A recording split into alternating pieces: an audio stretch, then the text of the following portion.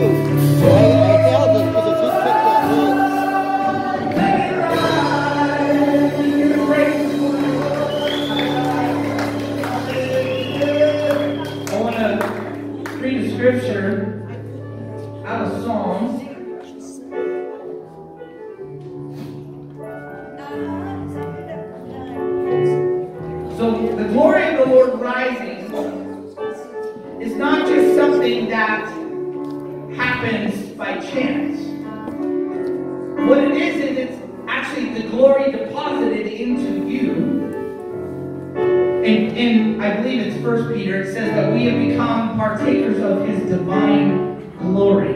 So there's glory deposited into you, and when you express that glory, his glory rises. So it comes from you and outward, and it lifts up his glory. His glory is his, his presence, his power, and his goodness.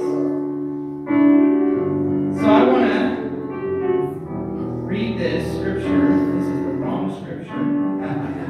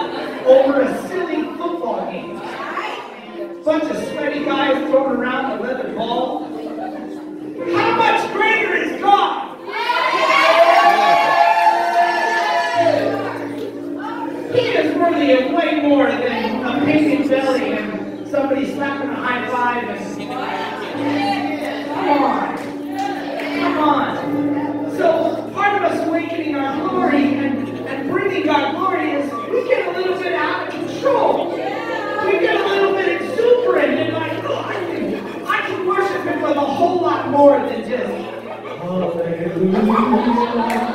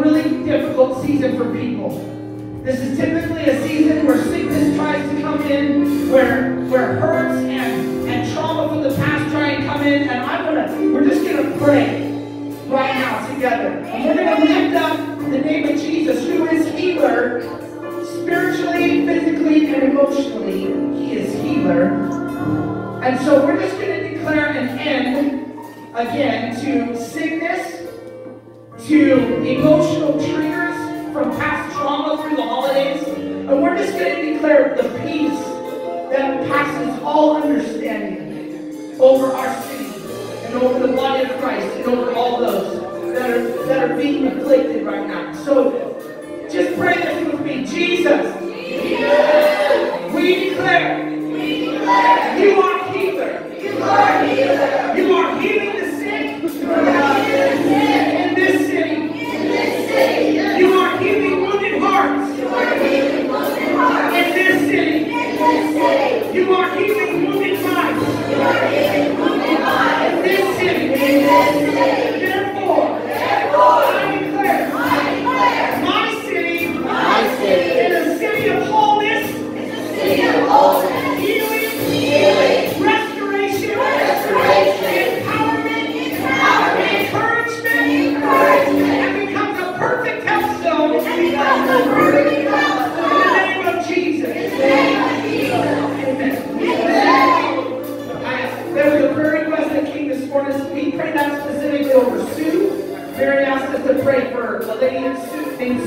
Samaritan who's battling some illness. So we're just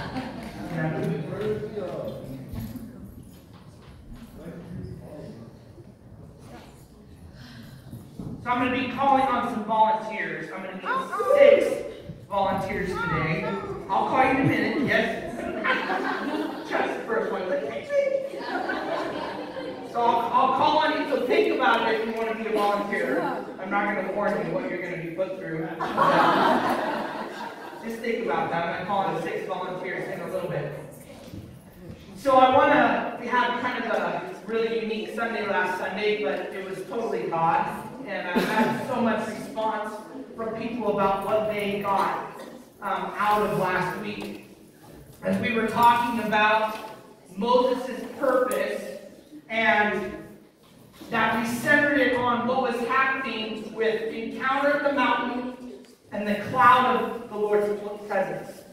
And there were there were two specific purposes that we outlined there, and that the, the purpose of the encounter is God revealing himself to a person or to a people.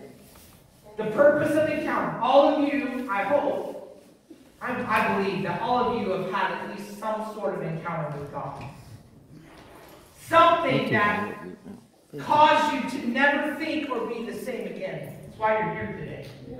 Because something has grabbed hold of your heart. Something has stirred in you. And now that you have some sort of, uh, of a belief system or a thought about God, you, you can't undo that.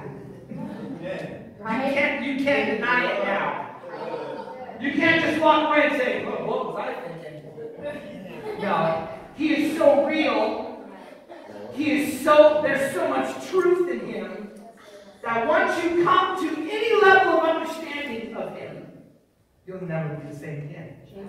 So then, what are you going to do with that? It becomes this, this journey of finding out what was the purpose of the. And, and what am I supposed to know? What am I supposed to do? And how do I go further? And what's the next step? And what else do you want to show me? And what does that encounter lead me to? Does it lead me to more encounters? Nod your head. Yes. Yes, it does. Leads you to more encounters. Does it take you deeper into knowing Him? Yes. Nod your head. Yes. Yes. It takes you deeper. Your invitation is to come really close. The encounter is there to, to give you what Psalm 34 says, taste and see that the Lord is good. Happy are those who put their trust in him. Amen. So he tastes really good. His, his presence is really good. He's just pretty much the best around. He's the friend that you've always wanted. Yes. He's the lover that your heart desires Yes. more than anything else. So the purpose of encounter is God revealing himself so that we would be changed, so that we would have a different mindset. All of us have to come to a place where we get some level of understanding of God. God says no one is no one has excuses. That his nature and his character is even revealed just in creation. So that everyone is without excuse. Everyone is without excuse. Because God has revealed himself. So we saw how God revealed himself to Moses through his encounter at the burning bush. He had actually revealed himself in other ways. Moses knew that he was a miracle baby. But he ran away from his purpose for about 80 years until God called him back and said, No, I picked you to lead my people, deliver them out of the hand of the Egyptians. And with much arguing, he finally followed through. And we find that then it moved to God wanting to not just reveal himself to Moses, but to the, the nation of Israel, the descendants of Jacob. And they have been in captivity and in pain and in slavery and in torture and abuse and torment. And so these were traumatized people. And God had heard their cries and he had remembered his covenant with Abraham, Isaac, and Jacob. And he said, I'm going to redeem them. I'm, I'm now going to fulfill my plan and my purpose.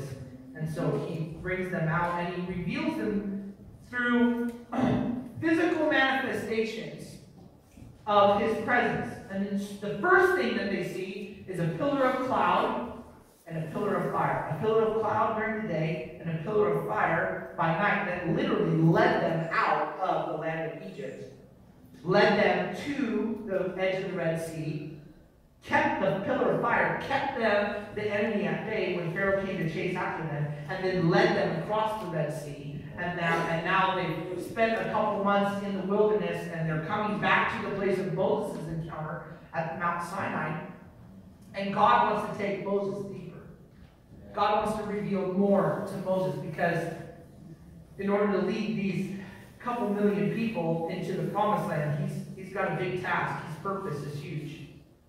And so, we found out the purpose for the mountaintop experience is for that encounter. Then we talked about the presence. And, and Moses summed it up in Exodus 33. I'm just going to reread this. Exodus 33, verses 15 and 16 says, and he's talking about the presence. And, and God is asking Moses to lead the people into the promised land that he originally promised even to Abraham. And Moses says this to him If you don't personally go with us, this is Moses talking to God. If you don't personally go with us, don't make us leave this place. Right. Don't make us go. Exactly. Here's why. How will anyone know that you look with favor on us?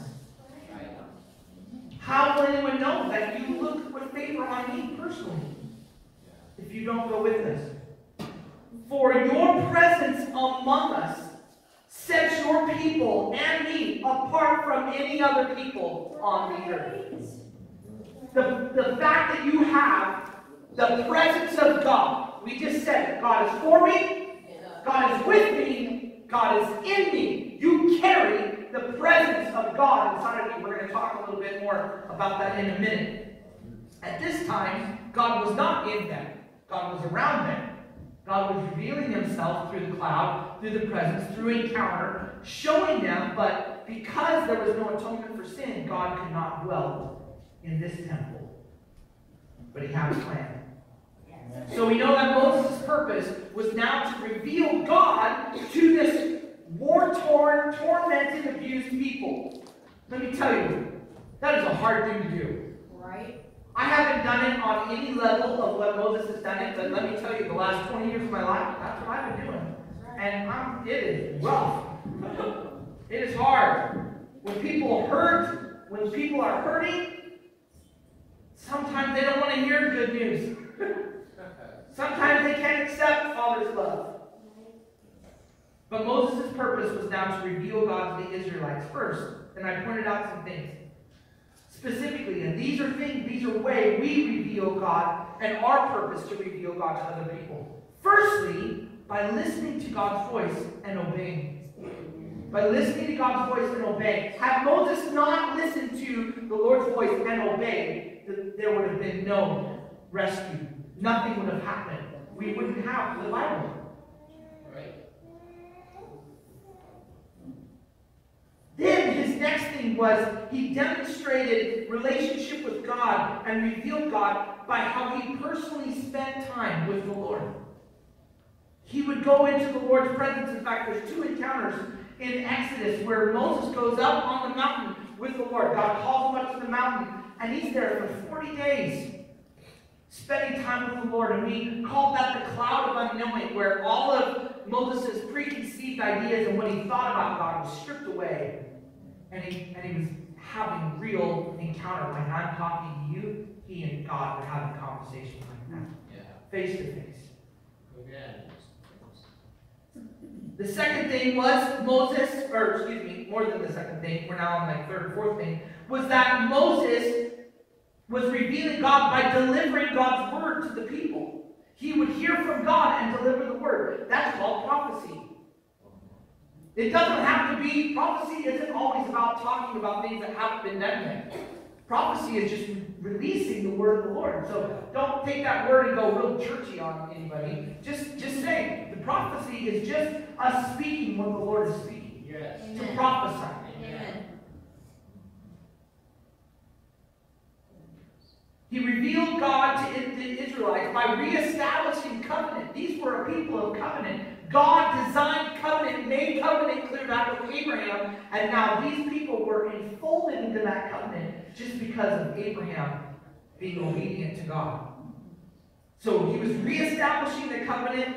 Moses began interceding on their behalf because these, if you know, if you went to elevate, you know that wounds create lies and sin. And so these were a people that sinned. They were they did not behave the right way. And so Moses would intercede on their behalf. There are times when God calls us to intercede on behalf of those people around us, family members or people that we know, that we're interceding for them, asking the Lord to forgive their sins, asking the Lord to cover them and protect them when they're acting terribly, asking the Lord to soften their heart and draw them back to Himself. And then he continued to reveal God by remaining patient, compassionate, and faithful to his call and his purpose by not giving up on them. So we see this, and I, one of the things that I did, we talked about the mountain, we talked about the cloud, but we didn't get to the tent. And this is a really, really cool thing.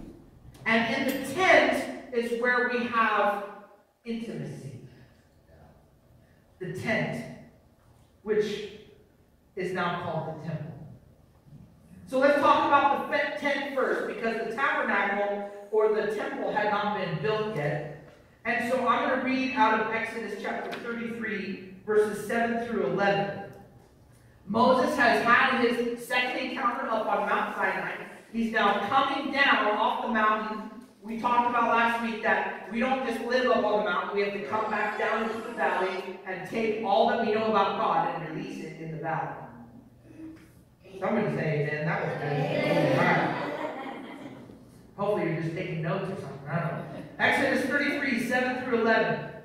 It says it was Moses' practice to take the tent of meeting and set it up some distance from the camp. So imagine this massive camp of near, probably around 2 million people. And it was all separated by tribes. The 12 tribes, the 12 sons of Jacob. So if you were a descendant of one of the sons, you were in that particular tribe, and they were set up strategically around this massive camp of 2 million people or so. But Moses took the tent of meeting and he stuck it out there away from them. And it says, everyone who wanted to make a request to God would have to go to the tent of meeting outside of the camp where Moses would be. And whenever Moses went out to the tent of meeting, all the people, listen to this, all the people would get up and stand in the entrance of their own tents. And they would all watch, 2,000, 2 million people, watching Moses until he disappeared inside of the tent. And as he went into the tent, the pillar of cloud would come down and hover at its entrance while the Lord spoke to Moses. Verse 10 When the people saw the cloud standing at the entrance of the tent, they would stand and bow in front of their own tents. Inside the tent of meeting, the Lord would speak to Moses face to face. Say face to face. Face to face. He would speak to Moses face to face as one speaks to a friend. Moses and God were now friends. And afterward, Moses would return to the camp, but there was a young man who stood behind. And he was actually going to be the next leader of Israel. And his name was Joshua. This was kind of like Moses' disciple. It was the one that was following close behind him. And so Joshua would remain behind in the tent of meeting. I thought that was kind of a cool thing. I've never read that part before. But Joshua was having that same level of encounter as Moses was having. Joshua was having a face-to-face encounter with God. Joshua was hanging out at the tent of meeting. So there's some significant things I wanted you to hear and grab out of this passage. Moses was taking the tent outside of the camp, and he was regularly going to the tent of meeting and spending time with God. And him going, this is him revealing God to the, this nation. Him going and spending time with the Lord caused the people of Israel to take their own time in front of their own tent to worship God to have reverence and awe. They knew this was a significant thing. And they would watch the cloud come and the presence of God would be with. And so Moses was literally showing the people, this is what you do. This is how you go to meet with God. This is what you do. You prepare yourself. You go intentionally to go meet with God. And you have this own time in your own life, in your own tent, where you get to go and be with God. So God, he was revealing to them God in intimacy, in relationship, face to face, face to face, like a friend. Here's your homework for this week. We're going to go into some other things. Your homework for this week is going to be to read Exodus 35 through the end of the book, which is 40. It's only five chapters and they're fairly short. So write this down somewhere, put a mental note. Your, your assignment this week is to read in your own time Exodus 35 through 40. Now, I'm going to do a little bit of a spoiler here because Exodus 35 through 40 is actually God. He didn't just want to visit the people, He wanted to live among them. Right up to this point, he just would come and he would encounter Moses at the tent, but he didn't live there. His cloud, the cloud would lift off the tent. So he gives Moses this, this plan, this strategy to build a tabernacle. It was still a tent, but we're, it's just a big tent. And so he gives Moses this plan. He's saying, I want, I want to be with my people. I want to be in the midst of them. But there's got to be some order. There's got to be some things. And so as you read, you'll read what God gives as the strategy to build the tabernacle. So we move from a tent of meeting to now a tabernacle. Say tabernacle. Tabernacle. So this is a big tent. And once Moses and the people do all the things that God tells them to do, the last chapter in Exodus says this. Verses 34 through 36. It says, Then the cloud covered the tabernacle, covered it, and the glory of the Lord filled the tabernacle. And here's verse 35. But Moses could no longer enter the tabernacle because the cloud had settled down on him, and the glory of the Lord filled the temple. So this is no longer just God bringing the cloud. There's a difference here. It comes and it settles. It comes and it stays it remains, and it says his glory filled the temple. Now, I love what Bill John. If we were to experience the fullness of the glory of God, we would explode because it's too good. Right. We just couldn't handle it. Right. We would spontaneously just combust.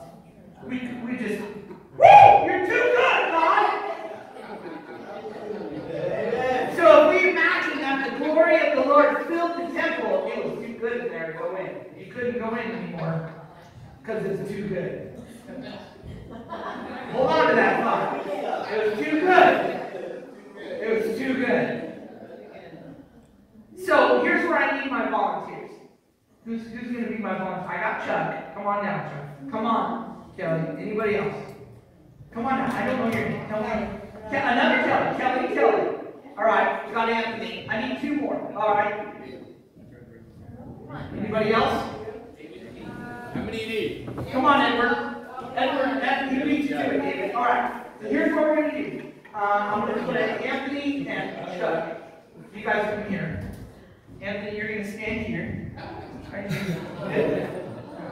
Chuck, you're going to stand here. Okay. And if you guys feel really comfortable, just hold hands. There. Okay. All right. Just hold that. It's okay. Your brothers in Christ. okay. So you guys are going to killing you guys are gonna like put your hands up like like have you seen the military where they take the swords and they like put them up like this? Oh, like, oh, yeah. face each other? There you go. There you go. Okay. There's that. That's good. Okay. And then Kelly and Edward, you guys are gonna stand here. Here. And you guys are going to just you're just gonna stand side by side, okay? Okay. So I'm going to give you a little sneak peek into the tabernacle. And so what what they would do is God had this set up where they would enter into levels of encounter with God. Okay? So we'll call these guys the gate. Everybody say the gate. The gate. Okay? And then we had a courtyard. And then these guys say the door. Door. Okay? And then we had the holy place. And then these guys say the curtain. And then we have the holy of holies. Okay? So we have we have the gate, the door, and the curtain. Okay, good. Oh, you following great. Okay. So I love teaching this because this helps us understand how the progression of how we get closer to God. How many of you have ever been to Lynn Ferger's class, Entering the Holy of Holies? Okay, this is, she teaches this beautifully and wonderfully. It's a wonderful picture, and there are certain keys that open up each of these um, doors or entrances that open up. So, Scripture says in Psalms that we enter His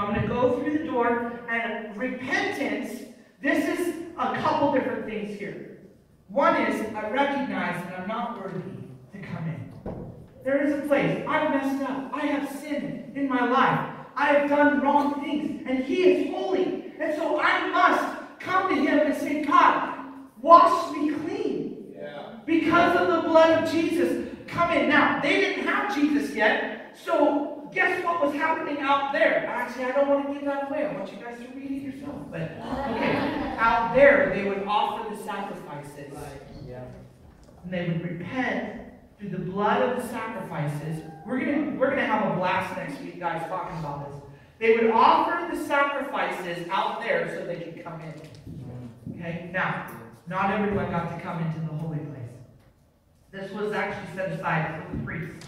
But God's done some cool stuff since then. So there would be a sacrifice made. Now Jesus did the sacrificing for us, so we no longer have to do that. So all we have to do is come in. It's God says that if you will confess your sins, I am faithful and just, and I will forgive your sin. Amen. I'm faithful and I'm just. I will forgive your sins, and I will cleanse you of all unrighteousness. That is good news, you guys. That is really good news. So he's made the way. He actually opened the door for us. Yeah, he did. And all we have to do is say, Yes, Lord. Yes, Lord. Yes, Lord. And so he invites us in, and guess what happens here? See, the other part of repentance is we get a new thought. Amen. Our mind is to become transformed, and we no longer think the same way that we used to think. We get new thoughts about God, and we get new thoughts about ourselves, and we get new thoughts about our life, and our family members, and our friends, and our purpose. And in this living room, we're having wonderful conversations with God that are shaping and molding our mind. He's teaching us how to speak and how to be with Him, and what it looks like to be a part of His family, because you're His kid. Yeah. Didn't know if you knew that. Amen. You're His kid. Yeah. You're his kid, and he wants you home. Right? He wants you home. He wants you to stay home. He's not trying to keep you out. He's actually calling you back. Ah, right. Come on. He wants you to stay home. And so, repentance is this. Now, who were these guys again? Do you remember? Curtain. curtain. Good. Well, awesome. So, the curtain, this was not your shower curtain. this is a massive multiple layers of material that was thick and seriously heavy. And what this did is this, this separated the people from the Holy of Holies, which, which was the place where God's presence literally rested and stayed inside the tabernacle. And, and the Ark of the Covenant, which you'll read about if you do your homework, the Ark of the Covenant was inside the Holy of Holies, yes. and he literally rested, his glory rested upon the mercy seat yes. there. Yes. Beautiful, beautiful picture of what God was actually going to do. so, the only way that the priest could enter from the holy place into the Holy of Holies, the key to go through the curtain is obedience. Right. Is obedience. So we're talking about intimacy today. So God wants us to come over for a barbecue, but then He wants you to come in the house, and He wants you to really, I really want to spend some time in my den, in my secret place. If you would like to come, I've got really comfy chairs, and it's really nice in there, and we can maybe share a drink together and talk about really, really good stuff. And so the only way into the Holy of Holies was through obedience and so what they what God had is he had a set of rules. These were things they had to do in order to enter in. If they didn't do it, they were unclean and they would die. Which that seems really harsh, but you guys need to understand that there was no atonement yet for sin. And so in order for them to come into a holy place, being unholy, they were not made holy yet. Being unholy. In order for them to come into the holy place, they have to do some things to make themselves presentable. Yeah. How many of you have ever been to a job interview where you knew you were going to go get a better suit and you're going to clean yourself up and comb your hair and put on some deodorant? You're going to do what you need to do to present yourself pleasing to that employer, right? If you're a good employee, that's what you did, okay? and so it's the same way. We are we are presenting ourselves before God, and there's preparation. Any any ceremony that we celebrate, whether it be a marriage or even a funeral or other things, we dress appropriately for the occasion. We prepare our hearts. We prepare our minds to do that. We're doing the same thing with this. So through obedience, and I'm going to talk about that a little bit more in a minute. Through obedience, we enter into the curtain, into the very near presence of God. You guys did a great job. Thank you. Okay, so fast forward a couple thousand years. Things have changed.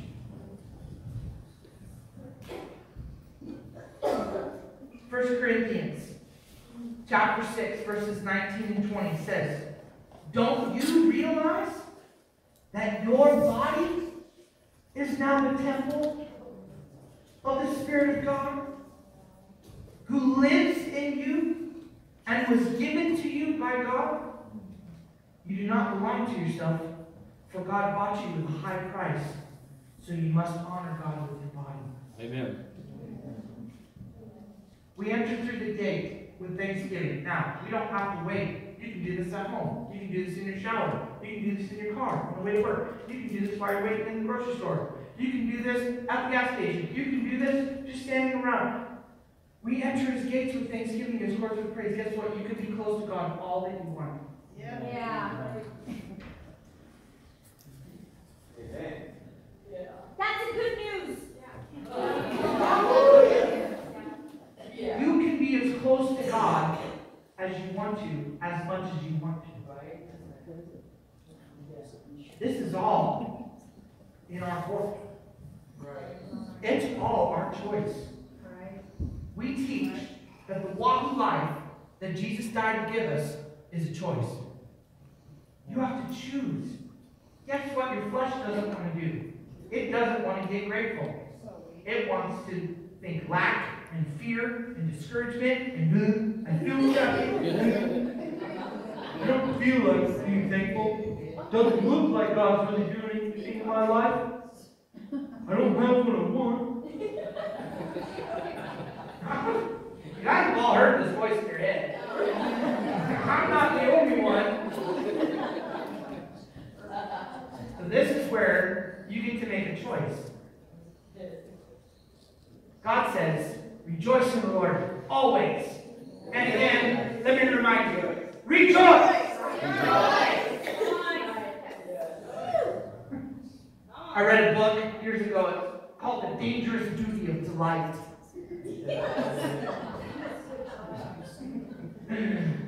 the dangerous duty of delight. Learning how to live a life of gratitude. Learning how to live in a constant state of praise.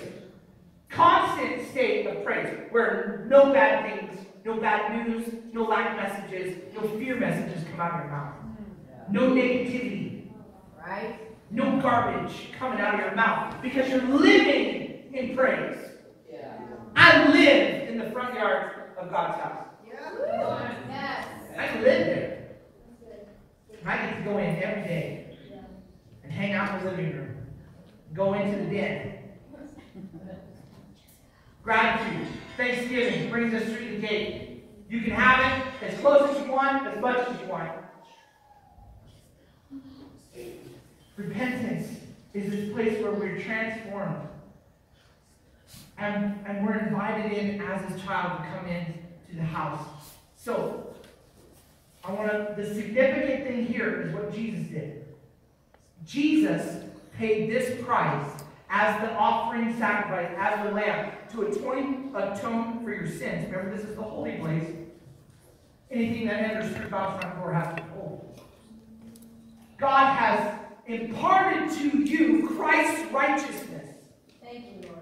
and has made you and me holy. You. Put your hand on your heart. Say, I am holy. God has imparted to me Christ's righteousness. I am now a righteous child of God. I am holy made right with God. Hallelujah. Because of Jesus, we now have full access into God's living room you. where we get to hang out as often as we want, as much as we want. Again, it's our choice. Because God has done this amazing thing where He's put His temple. It's no longer a tent. It's not a church building. It's you and me. We're now the temple of God. We're now the house of God. We're not going to a place and we're not waiting for the cloud. He has put His very spirit and presence inside of us. That is our new reality in Christ. That is good news. That is good news. I want to read to you 2 Corinthians 6, verse 16. This is this, this is one that might challenge some of us. And what union can there be between God's temple and idols? For we are the temple of the living God. As God said, and I looked up where he said it. He said it in Jeremiah and in Ezekiel and multiple other places. But these specific words he said both in Jeremiah and Ezekiel. I believe it was Jeremiah 32 and I can't remember what the Ezekiel one was. You can go look it up. Uh, as I said, I will live in them and walk among them. I will be their God, and they will be my people. I will live in them.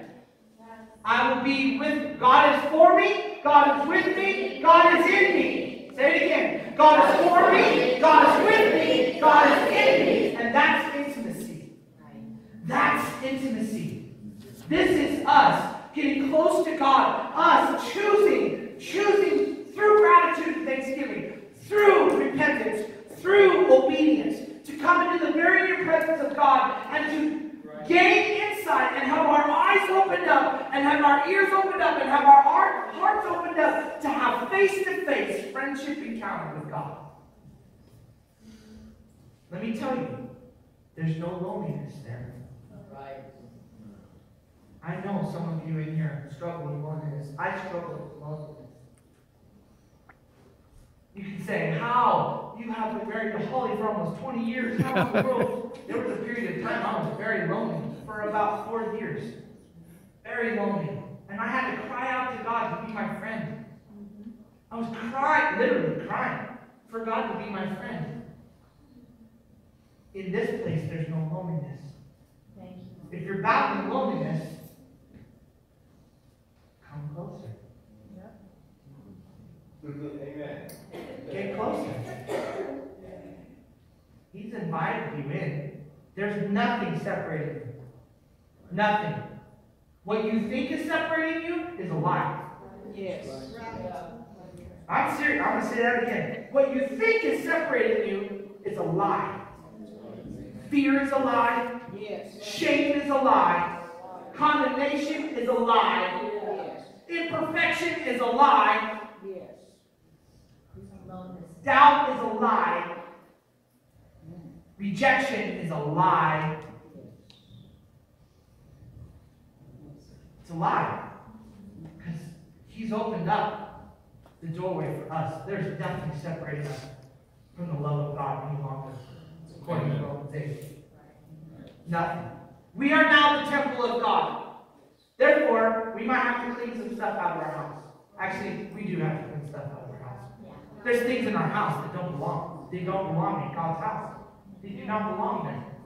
Yes. And so we need to ask Him to come. Lord, will you give me a interior decorating and makeover inside of my heart, inside of my life? I need to be renovated.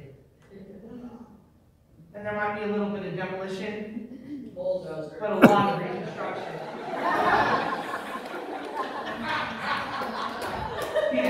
He didn't take the foundation away.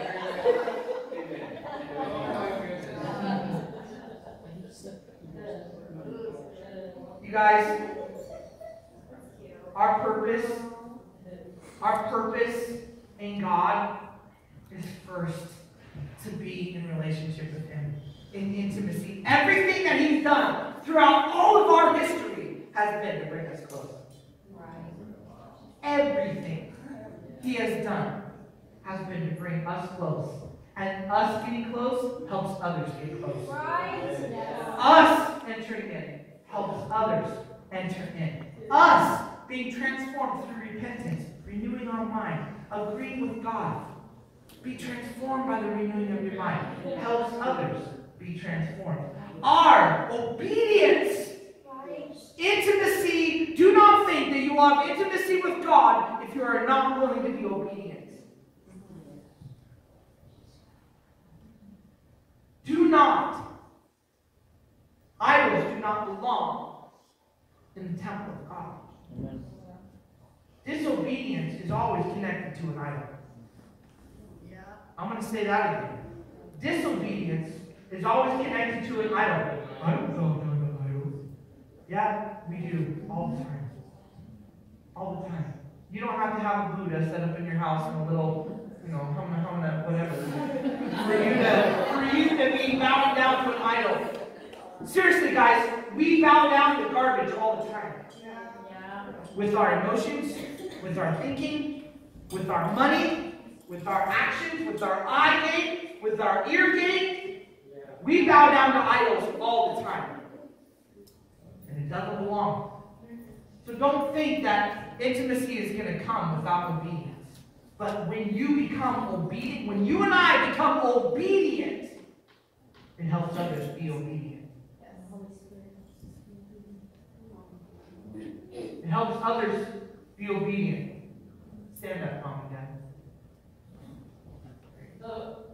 These are my mom and dad.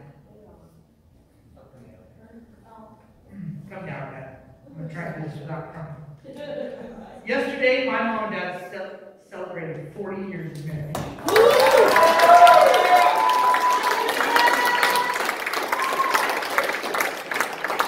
Keep clapping.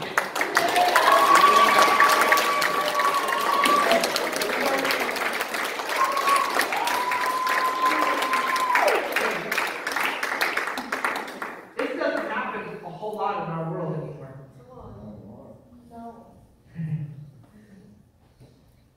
This is a picture of covenant. Marriage is designed, and God calls it a covenant, the same way He covenanted with His people. I will be their God, and they will be my people, and I will make my home in them. So this is a picture of covenant. It's also a picture of intimacy. Now, intimacy comes when we do certain things. I want you to know that yesterday I was, as I was reflecting on what my mom and dad have done to display covenant to me, to display God to me through their marriage, the things I thanked them for was their obedience. Their obedience to God and their obedience to honor the words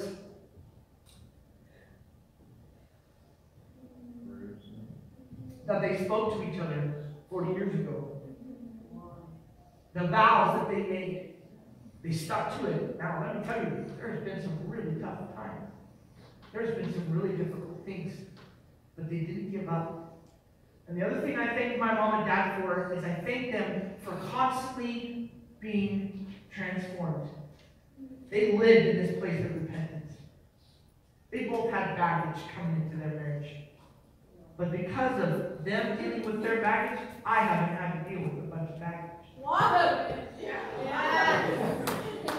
Listen, your repentance helps others in repentance. My, I've watched my mom and dad in 40 years be completely transformed into new creations in Christ. And they've continued to grow, and I thank them for never settling and always pursuing. always pursuing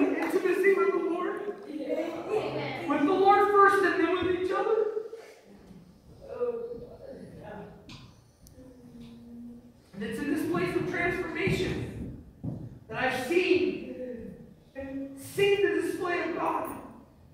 And they have revealed God to me because of living in this place of repentance, changing the way that they thought, walking out obedience. And that equals intimacy. This is intimacy, guys. Intimacy sometimes is hard, it's difficult, it's sometimes messy, but it's beautiful. There's no greater expression of love and, and, and relationship than the intimacy that comes between us and God and in marriage. Thank you, guys. Give them another hand.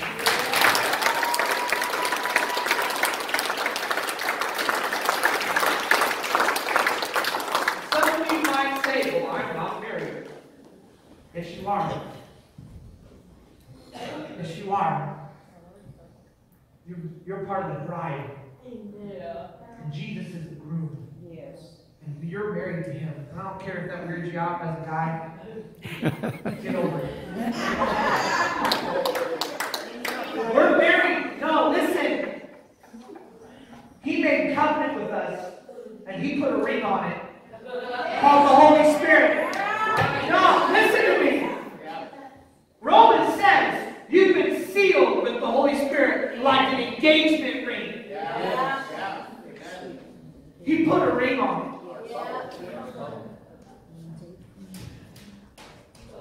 He put a ring on it. You now belong to Christ. You've been married with Christ. You are one with Christ. And you are to live as an expression of intimacy to the world. You define God to the world so the world can find God. You define God to the world so the world can find God. And if you want to know what your purpose is in God, at the very foundational level, that's it. God wants to do way more exciting things too, but that's it. So don't, don't think that your purpose has to come with a pulpit or a microphone or a label or a title or a position or a degree. Your purpose is that you're a child of God. Your purpose is that He has redeemed you and He's opened up the doorway into His very presence. So your homework this week is go read Exodus chapter 35 through 40. I'm serious about this. You might think it's boring because it's got a bunch of numbers and different things that God. What is the point? We're going to talk about the point next week. But I want you to go read Exodus 35 through 40. And we're going to come back next week and we're going to look at what God was doing, what He was giving us a picture of that we just got to hear about today. Everything was pointing, everything God has been doing throughout history was to get us close to Him. Because that's the thing that was lost when sin entered the world. That's what was lost. But He's restored intimacy with us. And we have to become a picture of that to other people. We have to. Right. Otherwise, the world will not see it. The world will not see it. If we just look like the world, no one will see God. Right. No one will go beyond, well, I believe there's a God somewhere that exists. Maybe. I think so. But if we are displaying gratitude and thanksgiving, repentance and obedience, let me tell you, people want to run through those doors.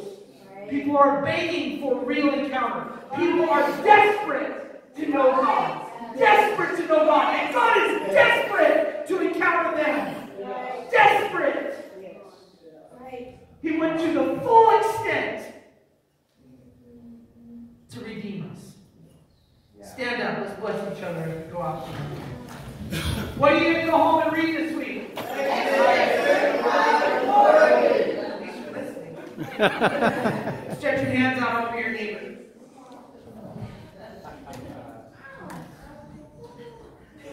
Let's bless each other. May the Lord bless you and keep you. May the Lord smile down on you and show you his kindness. May the Lord answer your prayers and give you his peace. And may the Lord cover you